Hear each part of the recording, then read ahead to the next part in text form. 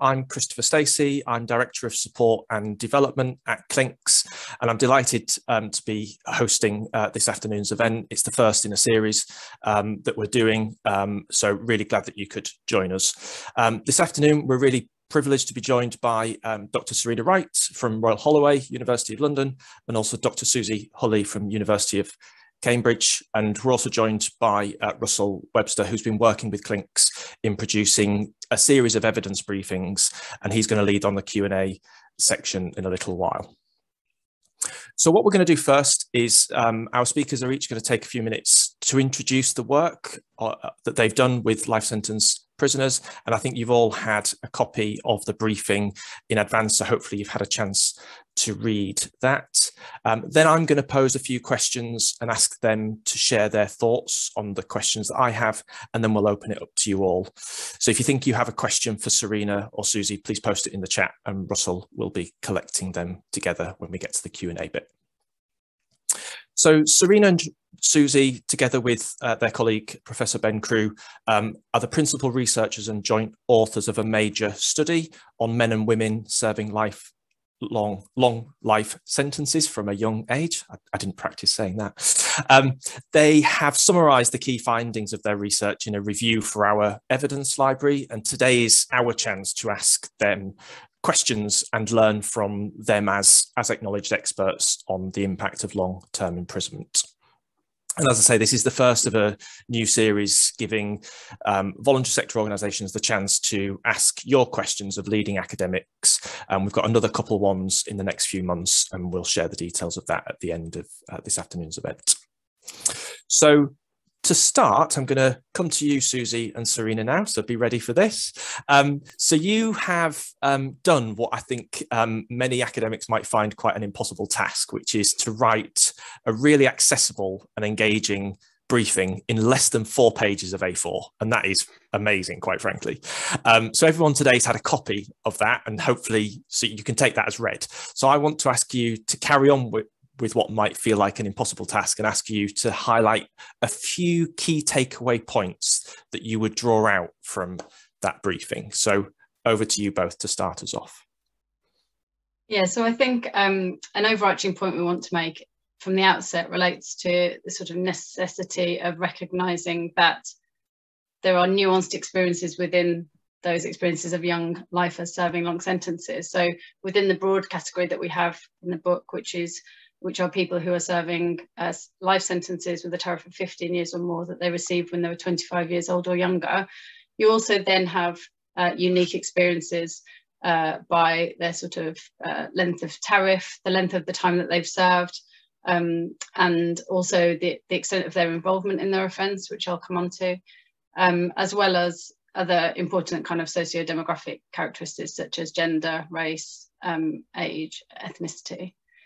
So, um, but I think one of the key points for us is um, the sort of prevalence and strength of young lifers' emotions, and particularly at the early stage of their sentence. So the briefing explains that in the early stage, so the first three or four years is um, is what we're talking about here. Young lifers describe being kind of flooded with emotions um, in response to the very extreme situation that they are in.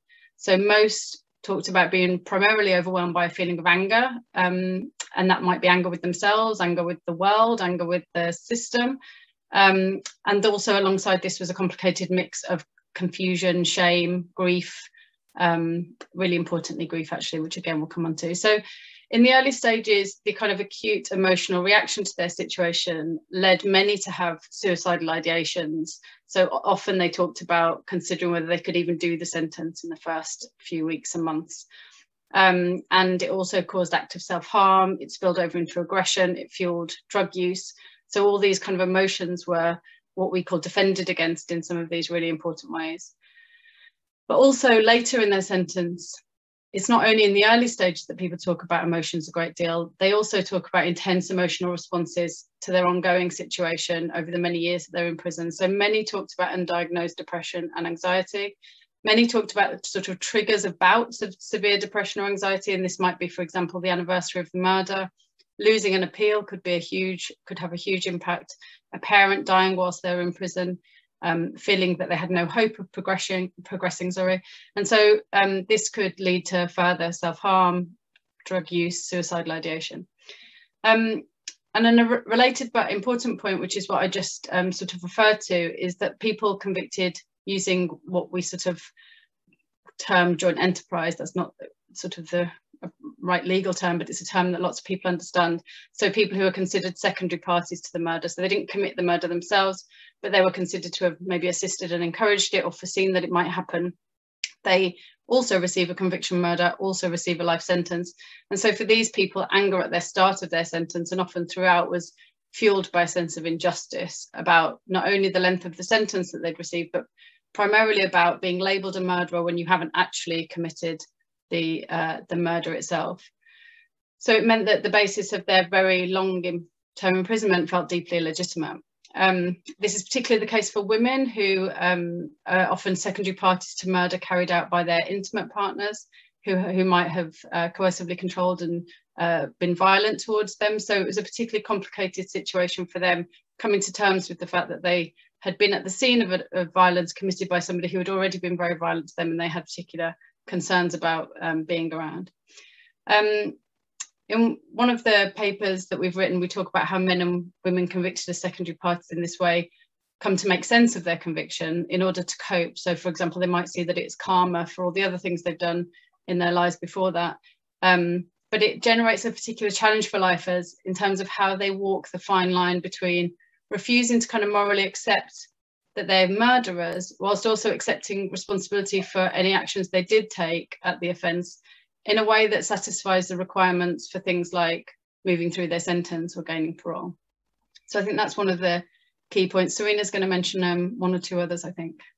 Yeah, so thanks, Susie. So I think along with uh, emotions, and I guess actually emotions is bound up with kind of everything that we're that, we're talking about really. Um, we want to give a bit more kind of depth and nuance to the uh, the points we mentioned about hope and hopelessness. So it's something we're expanding on at the moment in a paper we're writing, and it going back into the field as we are at the moment, um, eight years on from our original interviews, it seems really kind of salient thinking about these things. So um, hope, as Susie said, is one of these things that is differentiated by kind of sentence stage or the point um, you were along in your tariff, as well as kind of all those other intersecting factors. And um, you know, hope uh, was hard to come by in the early stage. for Young people facing minimum tariffs that might have been longer uh, than they than they'd lived to that point. Um, and often uh, the the one route of hope in that in that kind of point was uh, often appeal um, that offered this, this, this glimmer of, of escape on the horizon that otherwise didn't seem possible. Um, I think the flip side to that was, of course, that as Susie noted, once the appeal um, was almost inevitably unsuccessful, um, it was a significant low point, um, which could manifest itself in kind of fighting, um, substance use, uh, suicidal ideation, and suicidal attempts in some cases.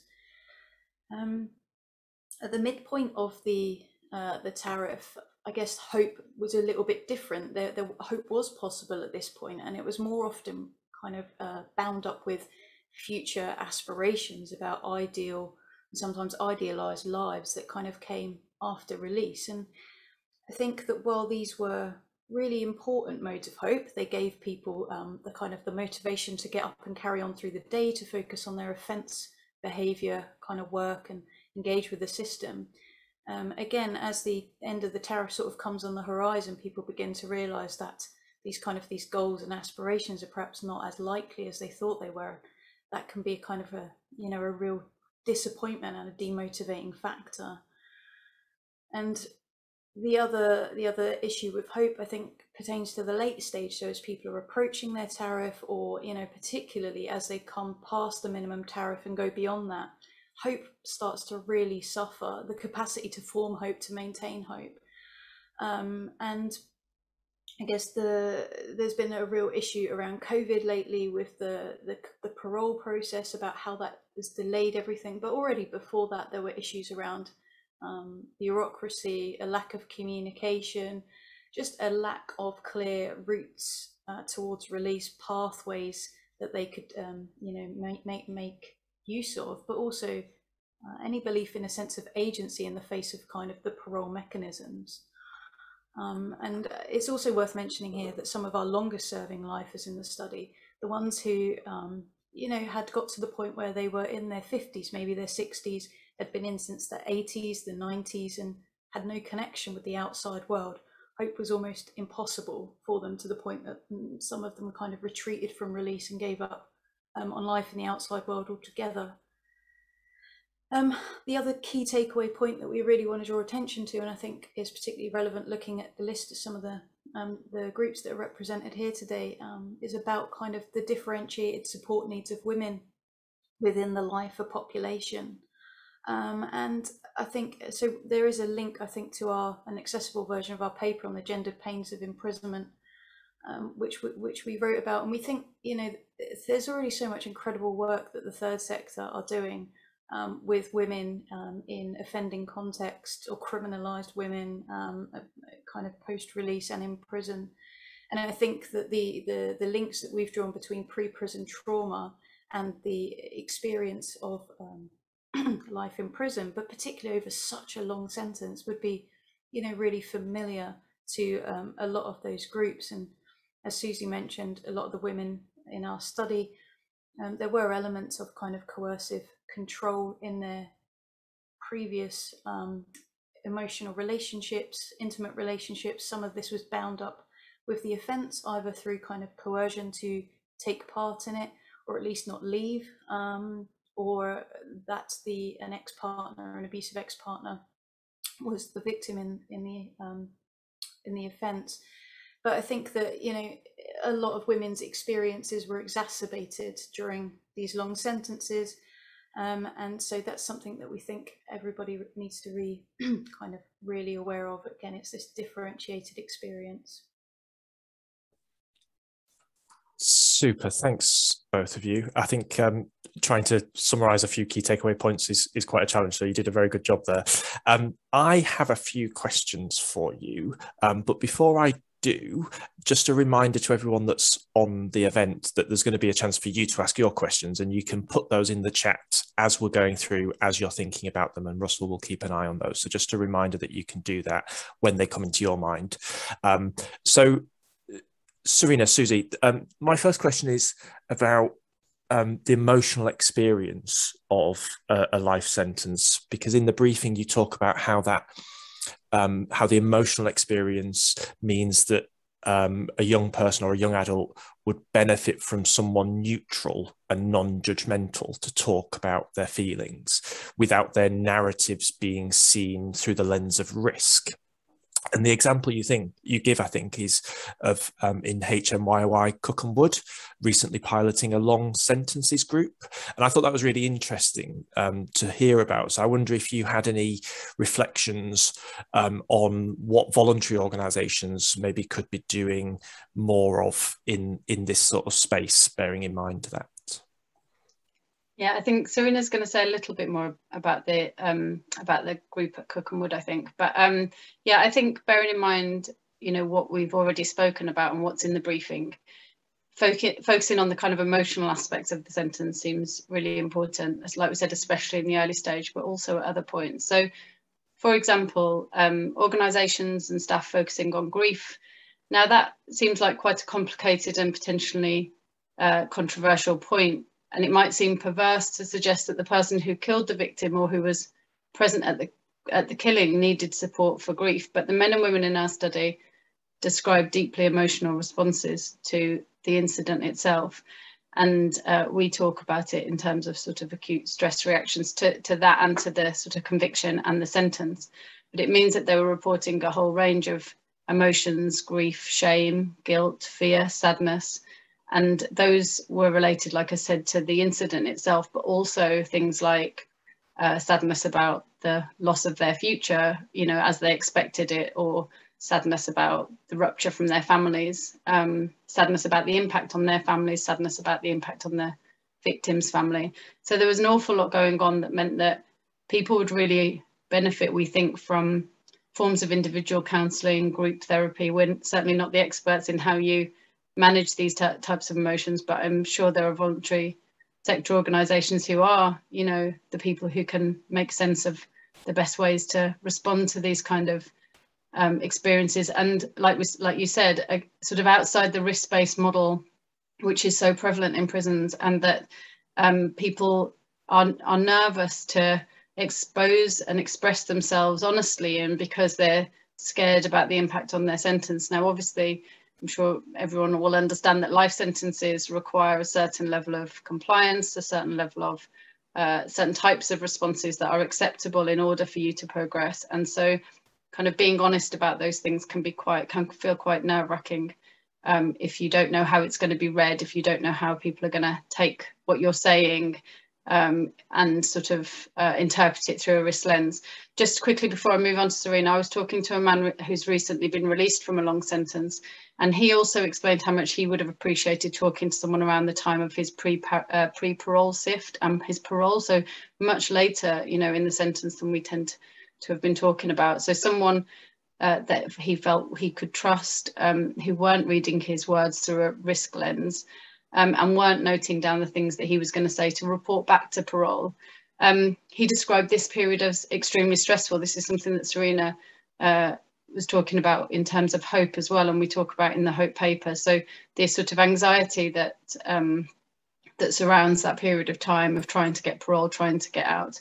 And um, this sort of anxiety affected his behaviour. And what he was saying was that if he had a safe and trusted outlet for discussions about how he was feeling, then perhaps um, you know, the kind of the impact on his behaviour might have been much less. Serena. Thank you. I think picking up on what Susie said about grief, um, we uh, so many individuals that we spoke to in that first study talked about experiences of bereavement, and you know they were bereavement that bereavements that happened in their um, their pre-prison lives, the bereavement that was associated with the grief of the offence, um, but I think also, you know, the loss of family members, if you're coming in for a long sentence and you're at a young age, then, you know, despite the fact that relationships with parents were often strained or you know, problematic in some cases, um, th- there was often a real fear that parents, grandparents in particular, who often would be bringing up young people, um, that they were going to die that, uh, while they were on the sentence. That was kind of an additional burden and I think that we heard quite a lot about the kind of the crushing effect of what it's like to be away from your family to not only to not have their support but for you to not be able to step up and support them especially when you might already feel guilty that you've kind of left them behind. So um, we spoke to a lot of people who i think even those who weren't particularly religious who really appreciated the input of the chaplaincy department um, you know, older prisoners who uh, appreciated and I think were willing to kind of uh, engage with the listeners, like the, the listener, um, the Samaritans kind of listener-based service, which they they really took a lot of comfort from.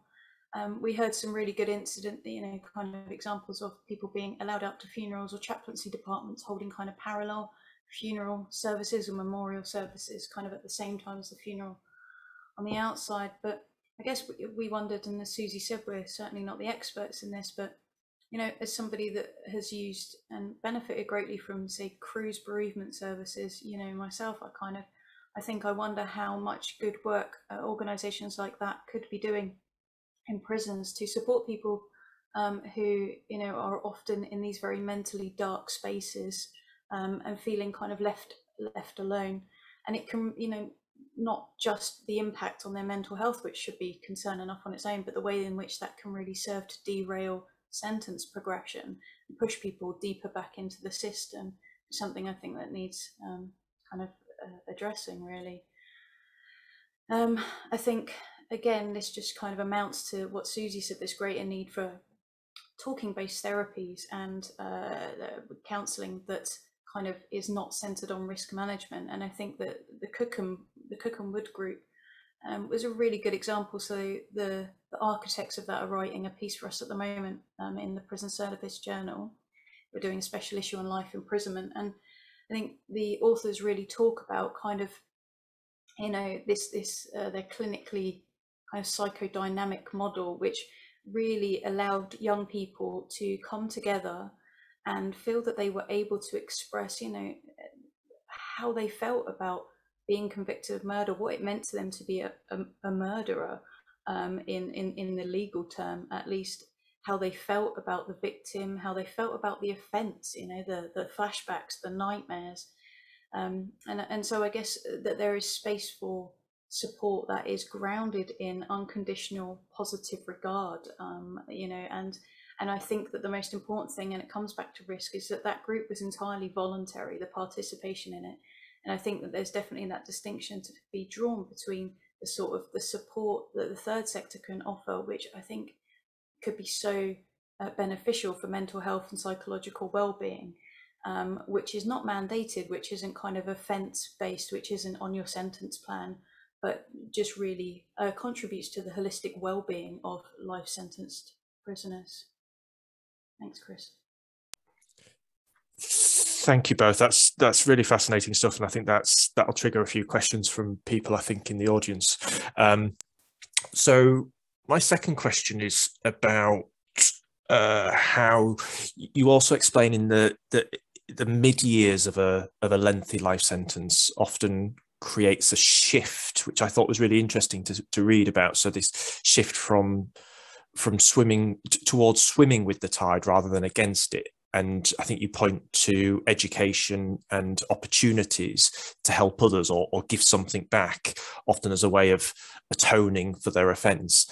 And and when I read that, that really felt like it spoke a lot to the role of the of of what often voluntary sector organisations do in providing those types of opportunities. So I was wondering if you could tell us a little bit about what sort of support people benefited from voluntary organisations or HMPPS at, at, at, this stage. Yeah, so um, I think at this stage it's about, like you said, helping others, giving something back, but also making sense of what they've done and their experience of long-term imprisonment. So um, that's what takes some time to come to terms with. Um, and things like faith, for example, can have a significant impact on the on being able to kind of look up and look forward rather than just kind of living in the day to day kind of emotion of what it is to be surviving another day in prison for the next year, two years, you know, 15 years. Um, and things like faith gave people a narrative hook on which to kind of make sense of their experience. So they could say things like, or they did say things like, God wouldn't give me more than I could bear, or um, you know, things like that that made made them kind of make sense of what it was, but also gave them a sense of how to be of belonging. It gave them a way, uh, a feeling that they were learning, progressing, uh, becoming a better person. And again, that that links in with education um, and um, generative pursuits. You know, kind of doing something to give back, feeling like you're a better person than you were when the incident occurred. Um, so in terms of voluntary sector organisations, I think certainly things that give long-term prisoners opportunities, as many as opportunities as is possible to make sense of what they, they've done, where they are, and provide a kind of meaning or a sort of pathway to a positive future life um, is really important. So for example, one prisoner talked to me about um, a course that he'd been on that was run by a Christian organisation, and it had a profound, profound impact on him, partly because they kind of welcomed him in, they sort of demonstrated humanity to him, so they hugged him, they made him tea. He said they tell you stories and they're teaching you how to become a better person. So it was things uh, that were sort of teaching him, but also it was the manner in which they engaged with him, the humanity that they demonstrated that made the experience feel kind of meaningful and profound. Um, so yeah, I think I think those sort of experiences can offer a lot to people who are just trying to make sense of, you know, what it means to be in prison for so long and what it means to have committed the kind of offence that they've they've committed. Serene, I think you were going to add to that. Was I? Chuck me right under no, the bus No, maybe you weren't. Sorry, that was my bad. sorry. Chris, over to you. you are showing everybody our um, our plans here. Um, so, uh, mindful of time, I'm going to skip to my fourth question. If we have time after others have questions, I'll maybe come back to the third if that's okay with you both. Um, so, I was I was struck by the, the point that life sentence prisoners require greater provision to maintain meaningful relationships with loved ones throughout a long prison sentence. That was something that came through quite clearly to me when I read the briefing. Um, and the provision, it, it, struck me because the provision of, of, family services in prisons is something that's coming up for commissioning uh, again to go live from next October. So I wondered if if you had uh, maybe a couple of practical suggestions that if if prison service commissioners were, were on on this call, what what they should be asking the voluntary sector for in terms of uh, family service provision that, that builds on on on on the research findings. I'll say something quickly so Serena can talk. Um, but um, I think uh, uh, it's a bit difficult for us to give practical examples because, like I said, that doesn't feel where our expertise lies. And I'm sure there are people in the audience who have a much better sense of how to sort of take our findings and and and move into kind of practical uh, practical sort of uh, ways of implementing them. But I think the main thing is that a lot of the kind of mainstream forms of family interaction can feel really stagnant and awkward when you're serving a really long sentence. So having a visit two or three times a month over 15 years, it can generate quite difficult conversations or, or just sort of awkward conversations about what's what you've been doing. And Anna Kotova, who's um, an academic, has done some research on the families of prisoners, and she talks about the quality of family time rather than the quantity. So the ways that people can have what might seem to us like pretty mundane everyday experiences, but they can have them together and in and in those moments that's where people burst into fits of giggles or have really important conversations that um, you know they've been meaning to have for a long time um, you know they can sort of how they can be more intimate how you can cuddle your child in a way that feels natural and um, sort of really necessary. Um, I was just going to quickly mention before um, Serena speaks about an evaluation of Acorn House at Askham Grange in the uh, which was in the prison service journal some years ago, and I'm I'm not entirely sure. I, I, tried to look it up. I think it's still up and running, but it's quite hard to tell these things from the internet. But it was a family facility in the grounds of the prison that enabled children to stay overnight with women. And in this evaluation, um, which I can send to people if they're interested in it, um, the children talk about being able to cuddle up with their mum and hold their hand when they sleep and talk without interruptions. You know, being able to have these really important conversations with your mom as you're growing up that you need to have, but don't feel possible in a in a visits hall. Um, so I think things that enable those kind of close connections, meaningful, intimate connections, and and generating memories. Like I don't think many visits necessarily generate new memories for people to go over. As you know, if you think about how we interact with our families, those kind of those memories that we build up every time we see each other, or you know, every so often that we then refer to on the next visit and things like that. I think what you know, cooking together, laughing together, dancing together, but things that are really meaningfully connecting people. Serena.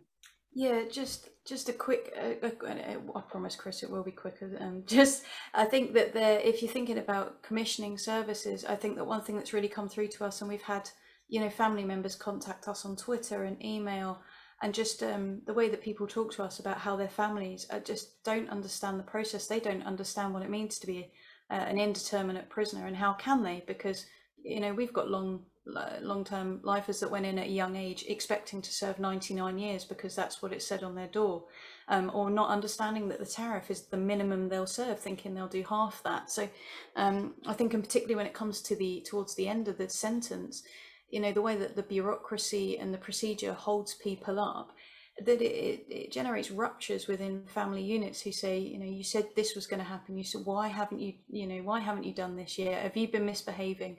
Um, that can be really problematic and i think as any support that can be offered again that differentiates that that, that supports um, and brings together maybe via online secure provision. I think family members of people who are serving these ex- exceptionally long sentences from a young life, a, a, young age, and trying to figure out, you know, how families manage that um, and and kind of make sense of that. And I guess the, the the other thing to say is, and I don't know whether this is the role of family commissioning services, but to think of alternative modes of family. You know, not all of us have um, a, a, natal family, and some people, you know, depending on their experiences, whether that's through criminalization or their sexuality or you know their gender, that they that they have more of a chosen family than a than a natal family, their birth family, and so I think um, a lot of stuff focuses very much on quite a maybe not nuclear, but a, a fairly conventional definition of what a family is and what that support looks like. And again, as Susie mentioned, is sometimes it's not the conversations that you have that are the problem, it's the conversations you can't have. So anything that can facilitate more private time together to um, have the difficult discussions that we know in the outside world enable relationships that difficult communication that enables relationships to build and flourish and continue that just isn't safe or possible to have um, on a line where you're being overheard or in a visits room. Where you don't want to look vulnerable in front of other people. Thanks Thanks, Serena. Thank you both. Um, so I think we're going to move on to um, some questions that we might have in the audience. So Russell, over to you. Lovely. Thanks, Chris. Thanks, Susie and Serena. Um, so much stuff to think about there. And I think uh, certainly that point you made about um, the kind of basic human interaction, a piece of work I'm doing at the moment that looks at, at a arts intervention in prison, but it's volunteers that come in from the outside. And, and people love the activity and engage in it for years. But top of the list of what they like is speaking to people who've just come in and, and talk to them as people and uh, who aren't interested in their offence, don't see them through that lens at all. And they just find that so valuable just to have a normal human relationship that they haven't got to kind of deconstruct or think, should I have said that, should I not? Um, We've got a, the first question here from Simon Scott. Um, I'm, I'm not going to read it out. I'll let, I'll let Simon ask you uh, himself. Are you there, Simon? Uh, yeah, I am. I'll even um, I'll put my video on, even hey, though. Um, hey, how you doing? All right. Hi, hi, Chris. Um, so I was kind of um, uh, thinking, particularly what you were saying around about hope um, and how people progress through the system. Um, so um, I'm doing uh, research at the minute with people who um, are in the community on life license, having been convicted of, uh, of murder and having spent, say, 15 years in, in custody or, or much more. And uh, one thing that um, most people say is that when they're going through the life sentence, kind of from stage to stage, so the sort of dispersal to Cat B to Cat C to Cat D to AP to to, to eventually uh, release, is they kind of figured it out every time as they went along and that the only information they got about that next stage was typically from people that were doing life and had been backstage or been recalled. So the information they get does, it kind of tends to reinforce, I was talking to someone else about the kind of myths of the life sentence, and it tends to reinforce the kind of very negative myths of the life sentence. Um, and particularly, like I said in the chat, that there, there's no solicitor, so there's no legally aided access to solicitors to even kind of get that impartial advice about how does someone do a life sentence. So I guess think about people that I've interviewed in the community who've all figured it out themselves. I guess the question is kind of, you know, how is that still the case that, you know, all these years down the line that every lifer seems to figure out how to do their sentence on their own? Yeah. Shall I? Can I start? Yeah, so do you want to go? Yeah. Um, so uh, you're absolutely right, Simon, and uh, your study PS sounds fascinating. Um, it's really so at the moment we're going back and we're re-interviewing um, everyone that we spoke to in the original study eight years later, and about 30, 35 of them have been released. And you know the stories that we're that we're hearing, but even in the first study, you know, in the late stage, the the, the absolute fear about being recalled for absolutely for absolutely nothing really dominated those kind of experiences. Um, a couple of people that I interviewed the other week, um, one of whom was released, one of whom was in an open prison both talked about this issue with solicitors and legal aid. You know, about one said um, uh, that you, you you seem to be not taking your parole seriously if you don't get a solicitor. And another one who said, who I reflected that to him, and he said, "Well, I, I don't think it's that you're not taking it seriously, but I think you'd be a fool not to." And when you think about what we know about kind of the the, the destruction of the legal aid system, um, you know, how can how can it be right that there is no uh, no equal access to fair and impartial advice and guidance.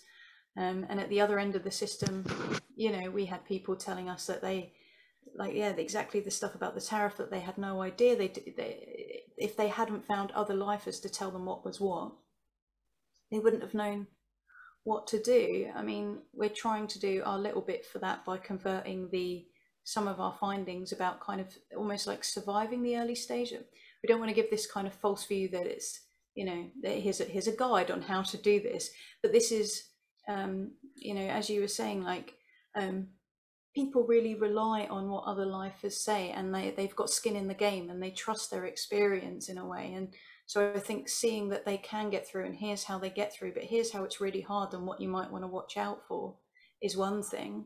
Um, I do know that HMPPS, I believe, were working on a, a an actual life sentence prisoner manual before COVID hit, but I haven't heard any more about it.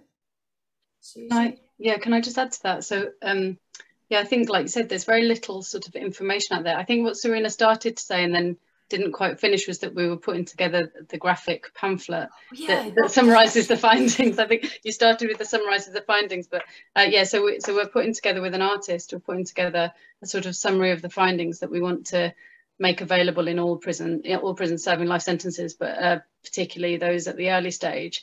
Um, we had talked about actually, and I think it's interesting the idea of whether you sort of say anything about the myths to try and bust them, but it's a bit, it feels a bit tricky to sort of say for sure which ones are myths and which aren't, because for some people, you know, they will struggle to get out on tariff and things like that. But the um the the guy that I interviewed recently, he got out exactly on his tariff and said that in his early stage he didn't think that was possible. All he heard was that people were uh, released post tariff. So I think you're right that it's it's interesting how little information, but also how we had at least two people talk to us about how inspirational it was seeing lifers who had survived the sentence. So if they'd they'd been to one had been to a sort of conference through the listening uh, listener service, and uh, I can't remember what the other one was, but they'd seen they'd met lifers who were kind of now released, and they said it was just amazing to see that life after life was possible um, and I don't think, you know, you're like you said, you only hear the stories of people being recalled. So you only hear the sort of the the bad stories, I suppose, rather than the kind of positive. Stories. Yeah, I guess I guess in terms of this, I'm kind of thinking about that one about you know you mess around at the start because that then shows exactly. you've kind of changed, you know. Yeah. And then and then there was people 10, 12 years down the line when they're coming up on a pre-tariff SIFT, they're sitting in front of people that said, yeah, but in you know 1923 you did this because we know the system's got such a long memory. Yeah. Uh, uh and uh, you know things can be incredibly or, or, or, being told by officers or governors or at sentence planning meetings that it's impossible to get out on tariff. Yeah. I mean, it's, it's, it's, it's unusual. It's not impossible. Yeah. But um, yeah, no, I just think it, it, it doesn't, and I wonder whether lumping lifers in with all ISPs as well just kind of muddies the water. It used to be, there used to be a life manual. It wasn't great, was it? But there used to be mm-hmm. kind of special services for people serving mandatory life, and there's no longer those things. But anyway, I, I won't take up any more of your time. It was just the point I wanted to make. Thanks. Well, one thing just to say back to you, Simon, on that point as well as was kind of lifer officers, you know, the kind of lifer yeah. units, lifer officers, there were sort of spaces set up that these kind of conversations were probably, or, or certainly staff were probably kind of expected to be, at least one particular staff member was expected to be really informed on these things. And now that, that, that might have been lost in some of the sort of dispersal. Yeah, when you do your graphical booklet, by the way, the graphical booklet uh, easy read guide at the start of a parole dossier is 26 pages long. So if you could not make it 26 pages, that might be quite useful. You'll, you'll, be pleased to know that it's 12 and uh, and some of that is uh, uh, just pictures. So okay. cheers, thank you. You're welcome. Thanks, Simon. I, I, know, as you said, you're kind of embarking on the next stage now, Susie and Serena, and um, obviously that will in, include, you know, you will see people that have been released and also kind of very sadly people that have been recalled as well. Um, I was very struck by one of the uh, the concepts in your book of, of, that kind of narrative lifeboat that you know the ways that people kind of get through the sentence. Um, and I just wonder what happens if if you spend 15, 20 years or longer kind of looking at a an end date that you know perhaps shifts, but you've still got everything focused once you get a few years in into perhaps coming out, how that kind of disturbs you when you suddenly realise, well, actually, you know, that, that might, you know, might not have crossed the finishing line now. Um, so I'd be really interested to hear your thoughts about that. Do you want to go first, Susie, since I took No, it's okay, you can. oh, okay, thanks. Um, yeah, absolutely, Russell. There was a, so as we've both mentioned, I think we're writing this paper that is about hope in the late stage at the moment, and um, there was a paper by Mason, I think about 1990, that said that the the hope that is available or possible for a life sentence prisoner kind of decreases exponentially with every year beyond tariff. Obviously, we haven't done a quantitative analysis that could prove or disprove that, but anecdotally, qualitatively, um, yeah, I think absolutely there are. I mean, we did we did come across people who were over tariff and still in closed conditions and who did feel some sort of hope, but they were a in the minority and b they were the ones who had some sort of sense of um, of forward momentum of like the pendulum finally after decades shifting in their behavior um, uh, sorry in their favor and i think that you know if we'd have interviewed them at any time probably a couple of months before that, they would have been in an absolute state of despair. And I think that's one of the things is that you know how how kind of how it shifts.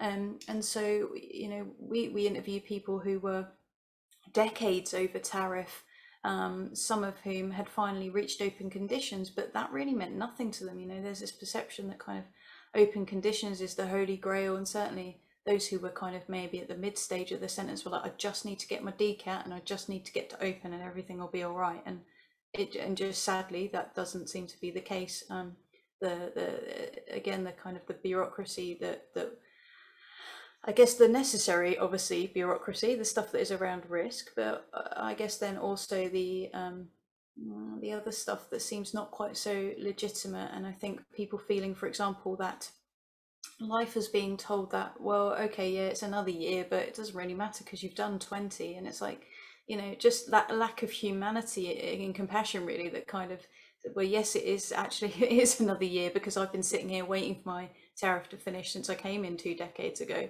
Um, i don't know that that answers your question but um, i'll hand over to susie who might. To be fair i don't think i have anything to add Serena. oh okay Russell, you're on mute. Sorry.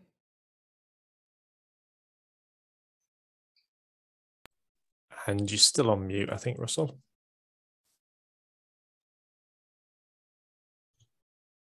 Thanks, Chris. That my unmuting wasn't working. I was going to say I don't think that's a, a question that had an answer, but I think it it clearly will um, be something that comes up a lot in your kind of ongoing research. Um, a question now from uh, Valentina Borden, um, who works at, at Forward. Uh, Valentina, you're up. Hi. hey, Valentina. You're right. Hi, Serena. How are you doing? I'm well, thanks. You? Good, good. I'm good. Yeah, just a bit of context. Serena was my professor at university. I just got a promotion, everyone. Carry on.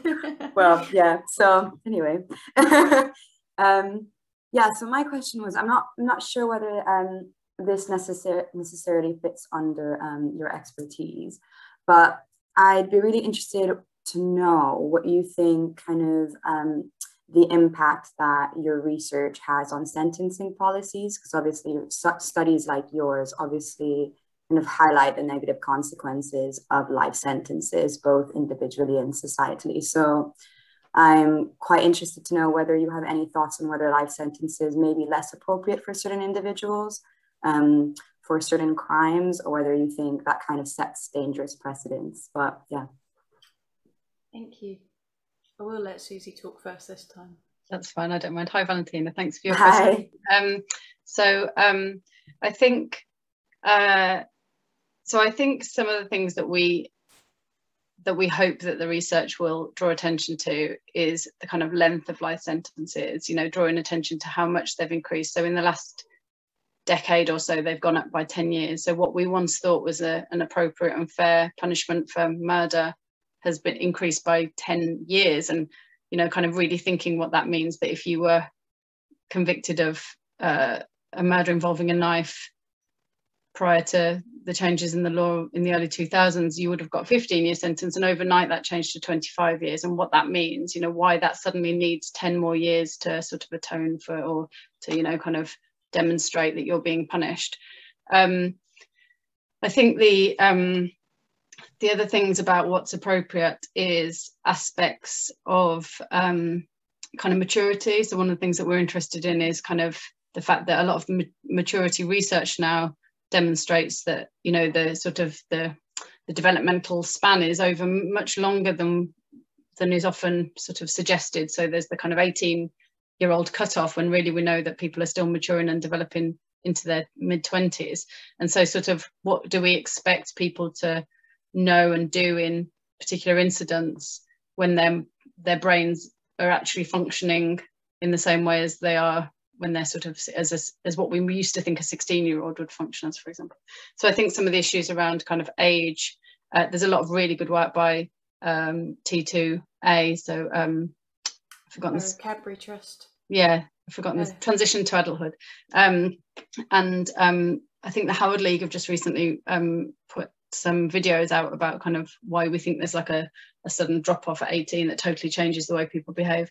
And then the other thing that I will just mention because it's my sort of pet is uh, joint enterprise and kind of, you know, the extent to which we think people who were present at the scene or um, were kind of nearby or, you know, all the different versions of what that looks like in practice, whether they require the label of a murderer and the sentence of a life sentence. Now, I think that there are other ways that we could be managing and labeling and sort of um, holding people responsible for the actions that they are uh, that they were um, responsible for on the day. And that that might not need to be uh, a murder conviction and a and a 30 year sentence for being present at a shooting for example. So um, I mean the the actual sort of whether we can have those kind of impacts is a slightly different you know prospect because that requires quite a lot of um, that requires people to be to be paying attention to the research and to be listening and and, and listening less perhaps to what we think tends to drive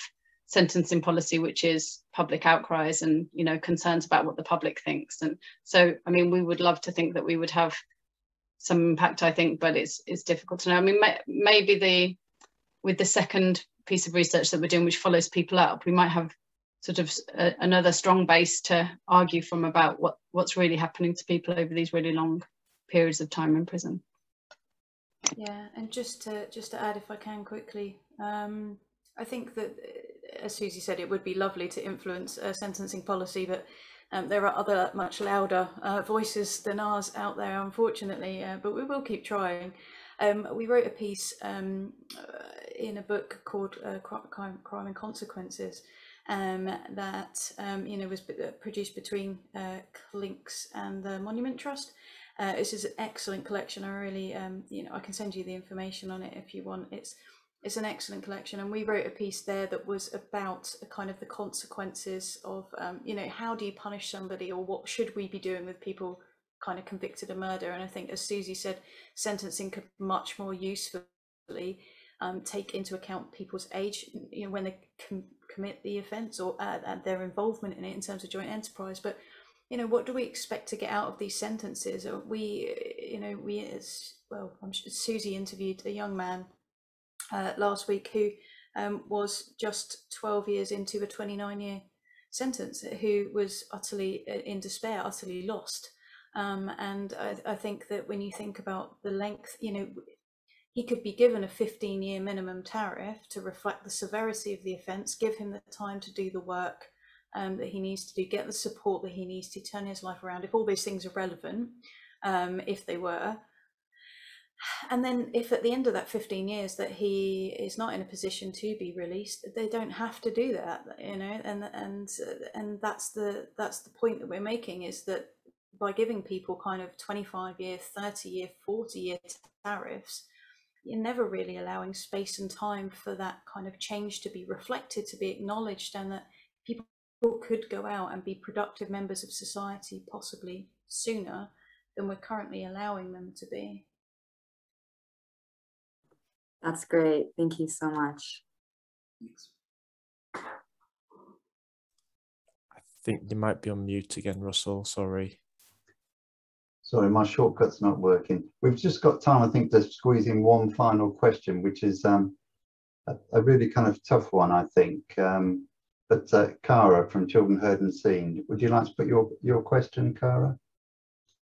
Yeah, thanks, Russell. Um, yeah, it's just about whether anybody's got any thoughts about the sort of family dynamics where that one parent has killed another parent and, and how that shapes any relationships with any children involved. Um, I love the work of Children Heard and Seen, by the way, Cara. So it's thank you. Nice to see there. um, uh, I, I, don't think I could speak directly to the question. I think I think uh, the best I can do is to say that thinking about the women in particular who we interviewed, that the complications that arise when their children like depending on who's who are the gatekeepers to their children so that would that would be particularly relevant in cases like you say where say say they've killed their partner. I think we saw probably less of it than you might see in other cohorts of women because the women that we were talking to were 25 and under when they were convicted. So i think there'd be other cohorts of life lifer women who would be more likely to have been those kind of that would be more likely to be their offence. We saw a lot more of sort of uh, other types of offending or other type, well, actually much more secondary women as secondary parties to murder um, than those kind of cases. But I think, yeah, I think the, the main point is just that for women, because it's much less likely that their children would be left with, so obviously we know that when men end up in prison quite often the women are the primary carer and the women are the ones who maintain the relationship with the man and then enable the relationship with the child you know, for for women, it it's much much less likely that their current or ex-partner who they have good relations with are, are main, you know, are kind of looking after the children and then maintaining that kind of relationship. So we saw many, many more complicated uh, ways that women were trying to keep in touch with their with their children through gatekeepers, including, I mean, sometimes ex-partners, but also parents of their ex-partner or um, you know, social services. And, and what this meant was that there was really complicated, sort of messy complexities to those relationships. So, for example, I remember one woman telling us that her daughter was being looked after by grandparents. I, I think it might have been her partner's parents, but I'm not sure, who had kept all the clippings of her offence and then showed the daughter when, when the daughter was nine, and then the daughter refused to speak to her anymore. Or the woman whose partner was um, had was looking after the child and then ripped up every letter she'd ever written the child and so she so she wrote a birthday card every year to keep hold of it to give it when she was out but she wasn't out for 15 years. You know the damage that's already done to that relationship in those 15 years is huge. So um, sorry i can't really quite answer your question but i think certainly there are just so many complications with maintaining relationships with children when you're serving a really really long sentence and that you know like we talked about some of those facilities for maintaining relationships are really limited. And you know when i read about acorn house you might know better than me whether it's still going but it literally makes me want to cry the, the kind of when you hear the way that people talk about maintaining those sort of familial intimate moments with their children that is just impossible in a visits hall or you know on a phone line if and, and certainly if no one will bring them to visits to meet to see you mm-hmm. and you know whether you want them to be there in the first place because you hate the idea of them being searched and you know there are just so many complications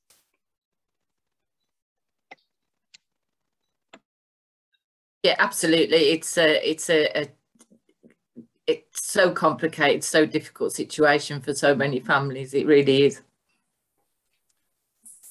Thank you for the question, Cara. I'm I'm very conscious of the time, and I think it might be a temptation to keep people for longer than we said we would. So, in that case, I think we better draw this to a close. But firstly, I just want to say a massive thank you to Susie and Serena for for you both giving up your time, um, for agreeing to do this. And uh, from my perspective, and I think I speak for everyone else, say that was a fascinating conversation, and I think has sparked a few more questions that I think might might lead to some discussions afterwards as well. So really grateful for your time and for following up in that way as well. Um, thank you to everyone for joining. Um, we will send, as I said earlier, this is the first of a, of a little series that we're trialing. Um, so we'll send a feedback form to everyone afterwards. Really grateful to hear your thoughts of how you found it, any suggestions for improvement as well. And then we've got another couple uh, coming up, uh, one in November on the 16th of November with Dr. Patrick Williams on community empowerment, um, looking at racial disparity. Um, and then on the 14th of December with Dr. Gill Buck looking at peer mentoring. Uh, you can find the details on our um, website. So for now, um, just want to say thank you all again for joining. We'll follow up afterwards uh, with a copy of uh, the recording when it's available as well. And you can listen back and share with colleagues if you like as well. But um, otherwise, hope you all have a lovely afternoon and uh, see you all again soon.